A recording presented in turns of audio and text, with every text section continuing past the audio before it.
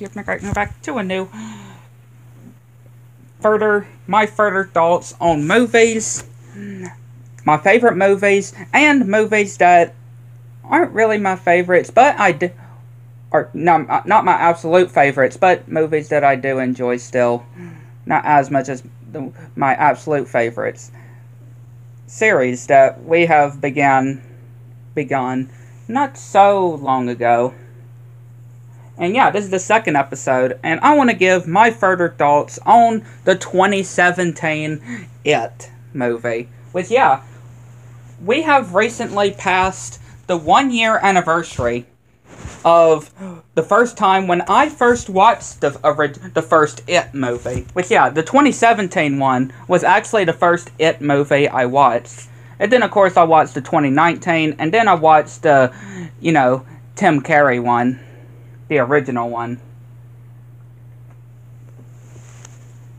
But yeah, I want to give my further thoughts on the first movie because well, again, I just wanted to give my further thoughts on the first movie and see if it still holds up, really. Right? See if it still holds up, really, a year later for me. And just because, you know, the prequel series is coming out next year as well. Right? The prequel series, Welcome to Derry, is coming out next year. And I'm definitely looking forward to the prequel series. And again, I, I do love the story, which, yeah, I've never read the actual books of, you know, that the movies are based on, obviously. You know, Stephen King's actual novels. Because, again, this the movies are based on his novels, the books. Right? Kind of like how Left Behind is, the movies are based on the books as well. But yeah, I definitely really do enjoy the story. I definitely, it's definitely one of those, um, which honestly, definitely not the scariest, at least to me though. I didn't really find these movies scary, obviously. I mean, y'all can correct, y'all can give me what y'all thought though, but yeah, I didn't really get find these and yeah, there are lots of crazy parts and stuff, but again, I really do like the story of these and the concept as well. I mean, everybody would have a fear of clowns, right? And using that as the main antagonist, right?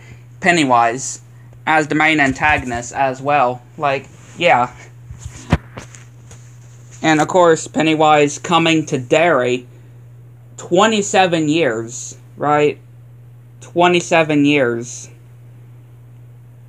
And I've I really do like the actor. I mean, I love all the actors and the the movies, but especially Pennywise's actor. I really like Pennywise's actor, which I have seen I have watched behind the scenes, behind the scenes and his actor seems like a very nice guy.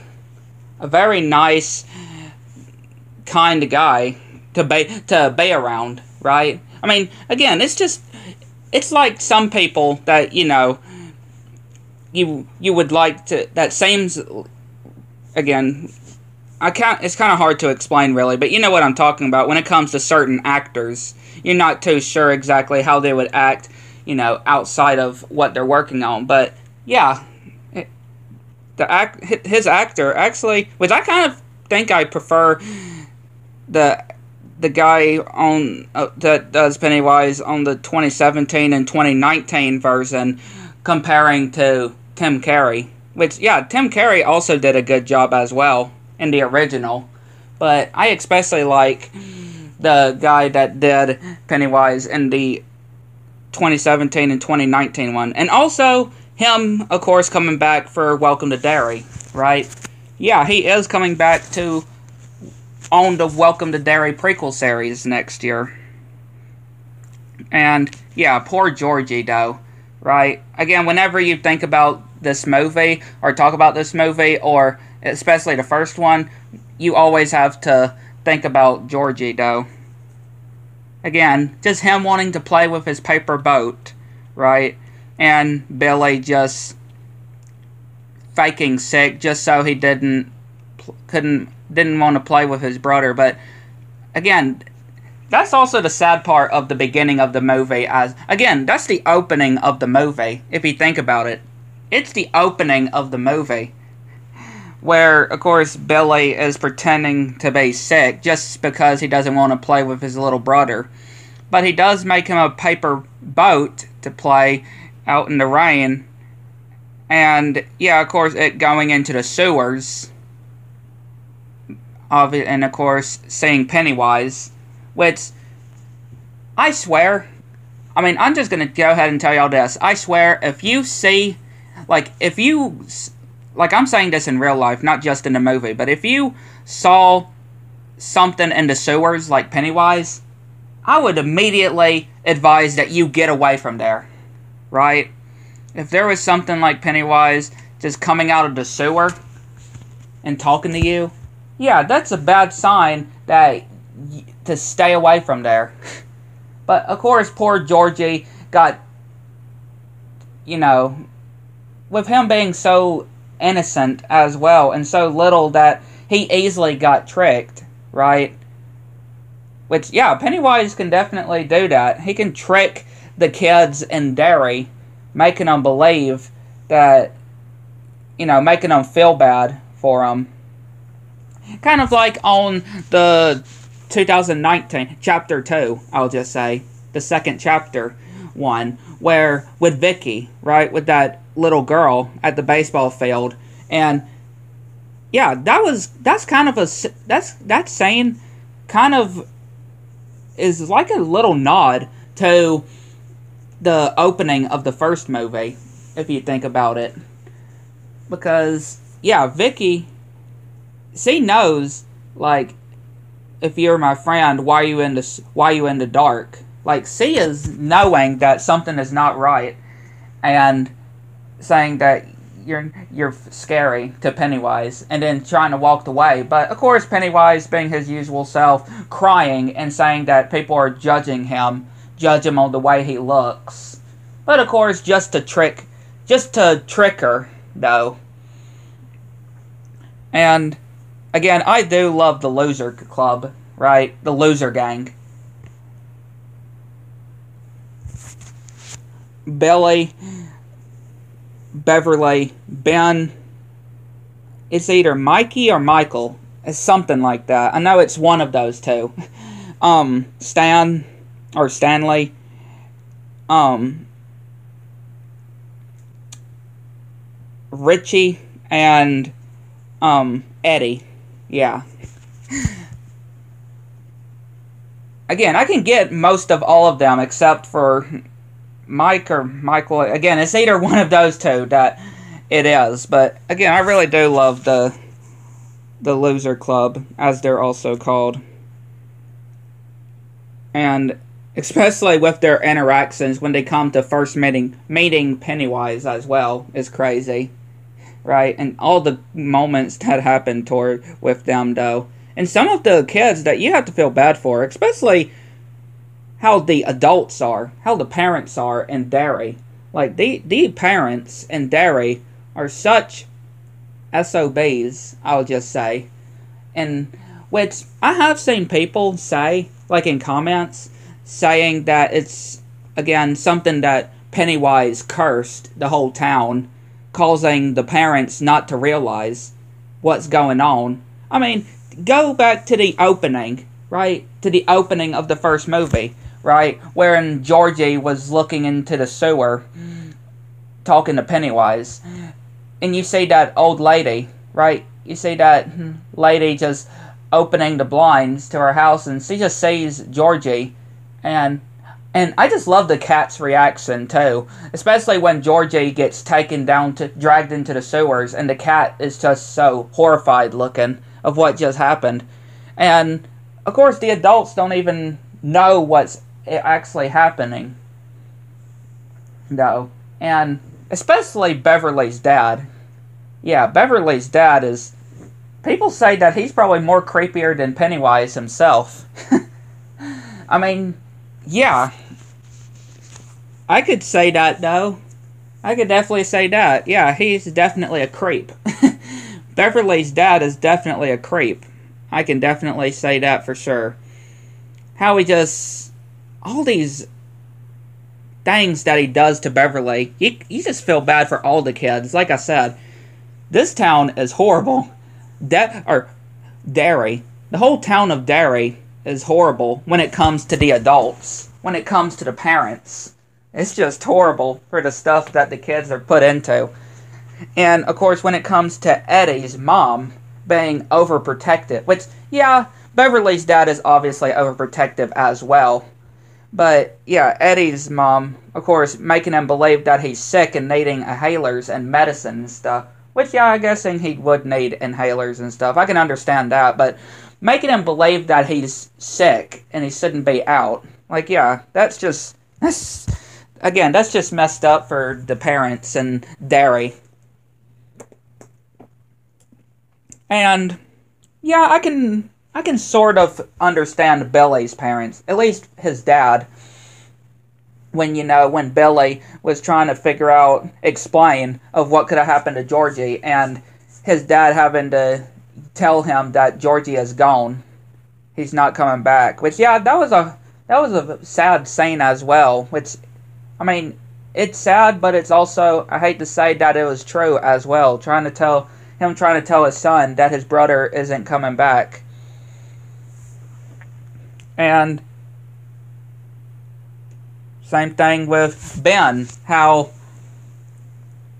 him being picked on at school, which, yeah, Beverly also, I've meant to mention as well. Beverly and Ben being picked on at school by Henry, Henry Bowers, which, yeah, he's quite an interesting, also antagonist. There are several antagonists of course, Pennywise is the main antagonist, but there are other side antagon- villains, antagonists in this movie, like Henry Bowers and his group, right? His gang, right? His gang, and like I mentioned, Beverly's dad is pretty much a villain, or all the parents are in Derry are pretty much villains within themselves. I can just say especially how the loser club is being treated by supposed to be their loving parents in Derry, but yeah, they t- they treat them like shit. I mean, it's true. It's true though. But like I said, he's definitely definitely another crazy character as well and especially with him I don't know if I would say possessed by Pennywise, but he also sort of was helping Pennywise as well, especially you know before that scene of Henry taking out his own dad as well after getting his knife that Pennywise found. Yeah, Pennywise was sort of using Henry Bowers, especially um, when it came to the house, when they were in the house, which I'm going to get back to that, of course, in just a second about Pennywise's house. But again, just especially when it came to the um second movie, right? How somehow Henry Bowers survived, especially you know how he fell a very long drop in the first movie and he somehow is alive in the second one. Like, yeah. And of course he gets put into an insane asylum, though, of course. He gets put into an insane asylum because all the adults think he's gone mad, right? Over the whole, over the whole Pennywise situation and the loser gang.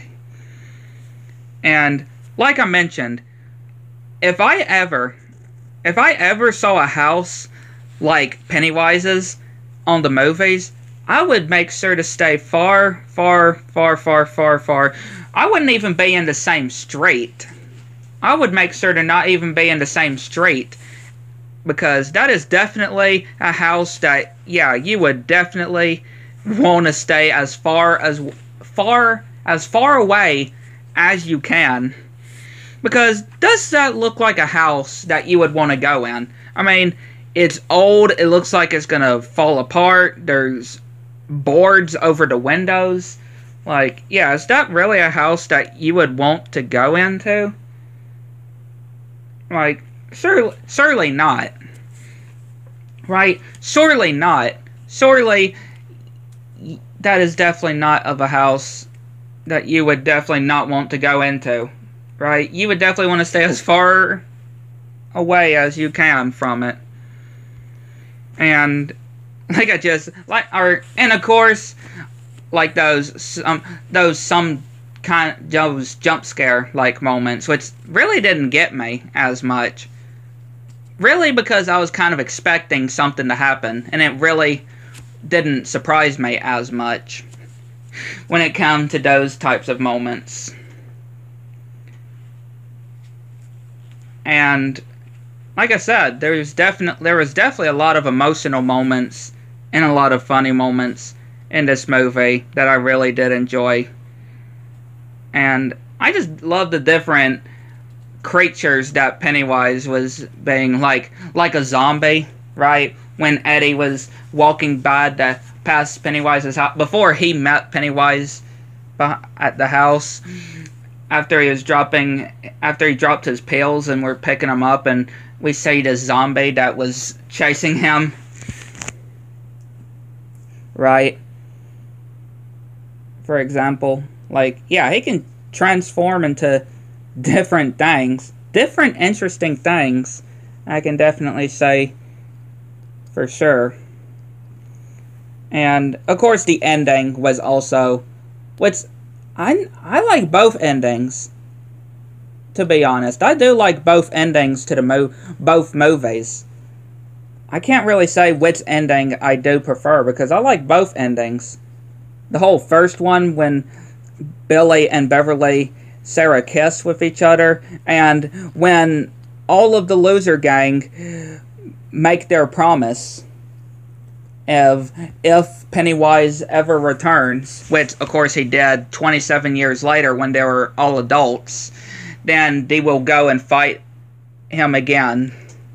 Which again, they do in this again, what they do in the sequel in the second chapter yeah, definitely a really good one. And yeah, I can say that the ending to the second one was also kind of sad as well, especially with them losing another member of um of the loser club. Not only that they lose they lost Stan, you know, of what happened to Stan, and but also losing Eddie during the fight, right? But again, either way, like I said, I definitely enjoy both movies, but I definitely wanted to give more of a more thoughts. I wanted to break down more thoughts on the first movie, especially. And again, I'm definitely looking forward to the Welcome to Derry. I'm just not sure exactly when we're going to be seeing an official trailer. I know there's, you know, those concept trailers that you may see online but I mean like an official, official, real trailer. First look trailer. That's going to be for the show, the TV series. Because again, it is going to be a series on HBO Max next year. So, I mean, as long as it's not delayed again, right? Because I know it was supposed to come out this year, but it got delayed till next year. I mean, it's it all it all we know as of right now is 2025. We don't have an exact month. It could be October. It could be early 2025 or mid. Again, somewhere in 2025, the prequel series will be coming out. But again, I'm definitely looking forward to it, especially to seeing how how they're going to do this prequel series. Because, you know, with it being a prequel, it's going to be taking place before, you know, the events of the first movie, right?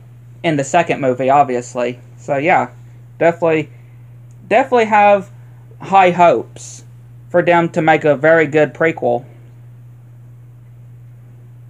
But yeah, I'd like to know what y'all think. Let me know in the below. Catch you next one.